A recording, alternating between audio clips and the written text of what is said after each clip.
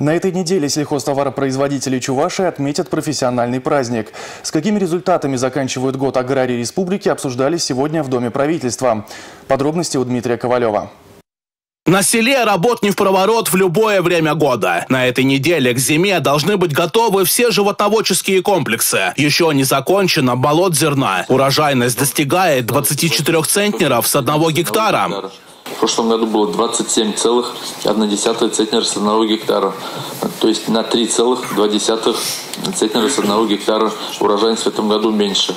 Лидерами по валовому сбору зерна являются Яльческий район 59,3 тысяч тонн зерна, Цивильский 52,7 тысяч тонн районы. Наибольший урожайность зерновых и зернобобовых культур в Урнарском, Яльческом, Цивильском районах.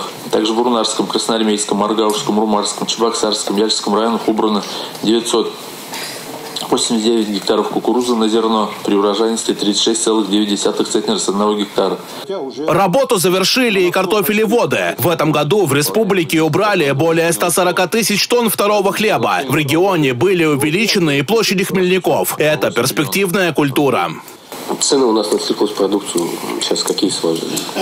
На зерно не раз мы называли, больше ну, 11 600 рублей тонна. Зависит от качества. Есть складов собирают ничего, шли продукт другие за 12 рублей, также ячмень. Что касается, на зерно очень неплохие цены. Здесь, как глава э, республики неоднократно отмечал, есть соблазн, конечно, сегодня продать, заработать деньги, но в то же время мы должны подстраховаться. Э, над этим мы работаем и э, с учетом того, что зимы могут перезимовать не очень хорошо, надо фонд дополнительных семян создать. Члены правительства обсудили и планы по сокращению очередей в детских садах. Чтобы создать ясельные места, республики из федерального бюджета выделят порядка 2 миллиардов рублей. Средства будут направлены на строительство 14 дошкольных организаций на 2840 мест.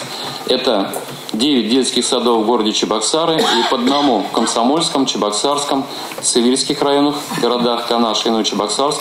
Нужно отметить, и это естественно, что не все родители отдают ребенка в сад по достижении двух месяцев. Обычно отдают после достижения полутора лет.